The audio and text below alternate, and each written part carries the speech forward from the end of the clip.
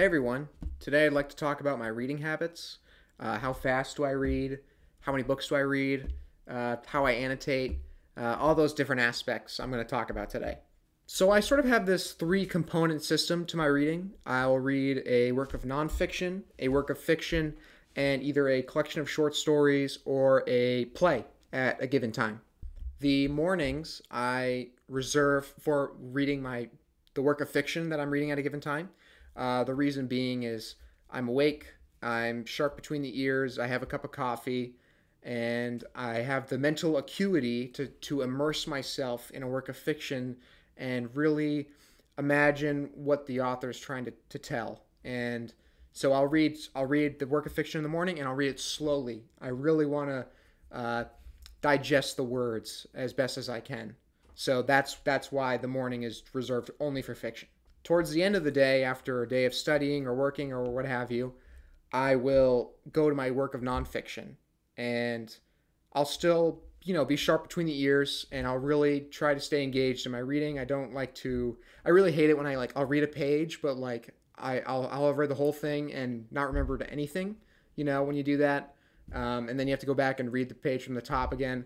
Hate it when that happens. So usually at that point in the day, the work of nonfiction is when I have my pen in my hand and I'm writing in the margins or taking notes while I'm reading. So I'm actively engaged with the text, but I don't have to worry about sort of picturing a, a story that an author's trying to say. So that's why the, the nonfiction is reserved for later on in the day. And then when it's nighttime, uh, end of the day, really tired, and I'm in bed and I still want to get a little bit of reading in before going to sleep, I'll read uh, the short story or a play. And the reason being is a short story, you know, concise, straight to the point. You can it's they can be range from like you know three to whatever how many pages, and so low commitment, and I can usually get one in before bed, uh, or else I'll, I'll read a play and I'll read like uh, either a couple of scenes or an entire act and then go to bed. And and so that's how I like to divide my reading: fiction in the morning, nonfiction in the evening, and then the uh, a dramatic short story or play at, at night. So, right now,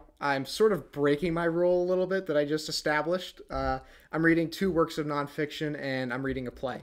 So, no works of fiction right now at this given moment. So, the, the first work of fiction that I'm reading is The Life of Samuel Johnson by James Boswell.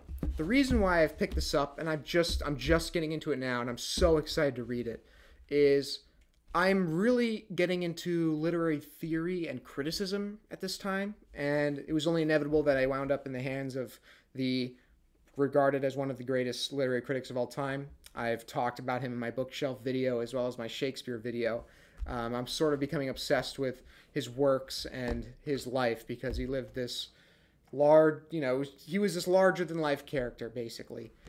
And the book, The Life of Samuel Johnson, is infamous. I'm sure many of you know what I'm talking about. It's this whopper of a book, and it just it's the complete portrait of Samuel Johnson uh, as portrayed by his very close friend and confidant, James Boswell. I am just so excited to read this book and read it slowly and just really get to know Dr. Johnson, as he is so called, since he was the one who uh, wrote the first uh, iteration of the English dictionary. That's what sort of cemented himself as this legendary figure, but as well as for many other reasons. But um, I'm just so excited to read to get through this. The second work of fiction uh, I'm, I'm reading, and I'll make a video on it soon because I have a lot to say about it, is the the Peregrine by J.A. Baker, and uh, as you can see, I have a few tabs here of passages that I really liked, and this is a wonderful book. I'm treating this like a fictional book right now at the given moment because the, the, the dialogue, not the dialogue, the, the prose is so rich and such, at such a high caliber that I really have to be paying attention to uh, engage with the text. And so this is what I'm currently reading in the morning. And so the play that I'm reading right now is Shakespeare's Othello. And the reason being is I've been very drawn, or I've been really interested in the character of Iago. Uh, I've read a lot of Harold Bloom's commentary on Shakespeare, and when he talks about Shakespeare's characters, he talks about, or his most famous characters, he talks about Hamlet, Cleopatra, Sir John Falstaff, and then Iago. And what Bloom says about Iago and this is very because uh, Bloom wrote that famous his famous work, uh, The Anxiety of Influence, and he talks about Iago as a character, his influence on John Milton, and how because of that influence, John Milton portrayed Satan in Paradise Lost.